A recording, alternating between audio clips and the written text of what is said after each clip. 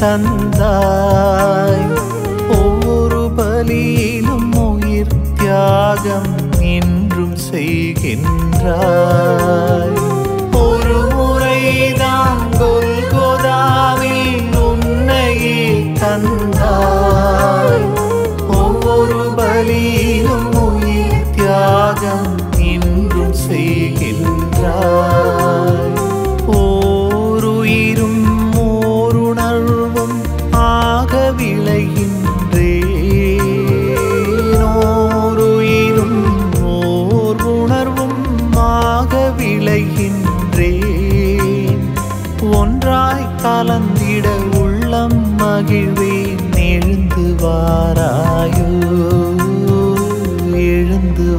மாறாயும் மாறும் மாறும் இயேசுவே.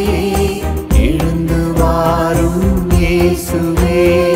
மாறும் மாறும் இயேசுவே. எழுந்து வாரும் இயேசுவே. யோவான் எழுதிய நற்செய்தி பதினேழாவது அதிகாரம் பதினொன்று முதல் உள்ள இறை வார்த்தைகள் இயேசு வானத்தை அண்ணாந்து பார்த்து வேண்டியது. தூய தந்தையே நாம் ஒன்றாயிருப்பது போல் நீர் என்னிடம் ஒப்படைத்தவர்களும் ஒன்றாயிருக்கும்படி நீர் எனக்கு அளித்த உம் பெயரின் ஆற்றலால் அவர்களை காத்தருளும். ஆண்டவருடைய இந்த வார்த்தைகள் ஒற்றுமையை வலியுறுத்துகிறது. சமாதானத்தை நமக்கு வலியுறுத்தி சொல்லுகிறது. சகோதரத்துவத்தை போற்றுகிறது. ஆனால் இன்றைக்கு உலக சூழ்நிலை என்ன? இந்திய நாட்டில் நடந்து கொண்டிருக்கிற செயல்பாடுகள் என்ன?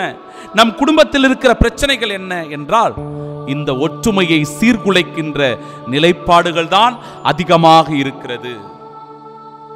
குடும்பத்தில் கணவன் மனைவியிடையே சண்டை சச்சரவுகள் பெற்றோருக்கும் பிள்ளைகளுக்கும் இடையே முரண்பாடுகள் இதனால் குடும்பம் இன்றைக்கு பிரிந்து போயிருக்கிறது. குடும்பத்தில் நிம்மதி இல்லை குடும்பத்தில் சந்தோஷம் இல்லை குடும்பத்தில் மன நிறைவு கிடையாது.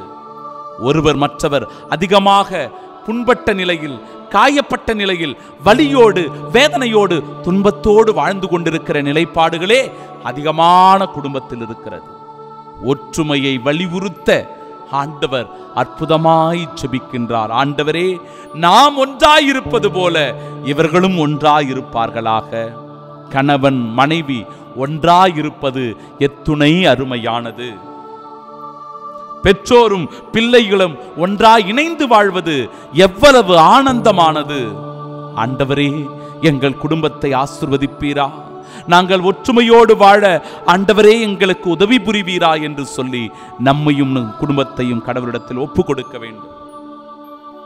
நம்முடைய இந்திய திருநாட்டிலும் கூட இந்த பிரிவினை பேதங்கள் இன்றைக்கு அதிகமாக நம்மை வாட்டி வதைத்துக் கொண்டிருக்கிறது. சாதியின் பெயரினால் மொழியின் பெயரினால் மதத்தின் பெயரினால் இன்றைக்கு மக்கள் கூறுபடுத்தப்பட்டிருக்கிறார்கள். வெவ்வேறாக அவர்கள் பிரித்து வைக்கப்பட்டிருக்கிறார்கள். சமய ஒற்றுமை மத சார்பற்ற நிலையிலிருந்து இன்றைக்கு ஒரு மதத்தை உயர்த்தி பிடித்து கொண்டு மற்றவர்களை தாழ்வாகவும் இழிவாகவும் பிரிவினைவாதிகளாகவும் கருதுகின்ற மனநிலை ஒற்றுமையை சீர்குலைக்கின்ற மனநிலை. இது நமக்கிடையே பிரிவினைகளையும் பிளவுகளையும் மனக்கசப்புகளையும் உண்டாக்கி கொண்டிருக்கிறது. இந்த காயத்திலிருந்து நாம் விடுதலை பெற வேண்டும் குணமாக வேண்டும்.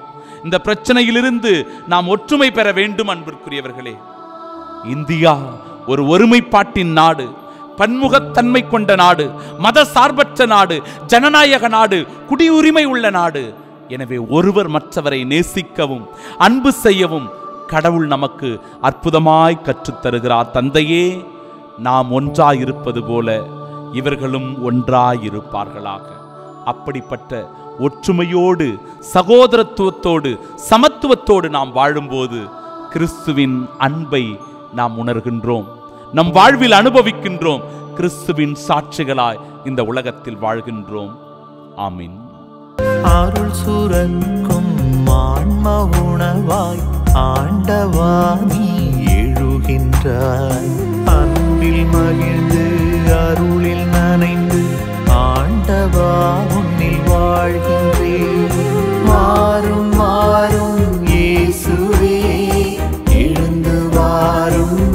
soon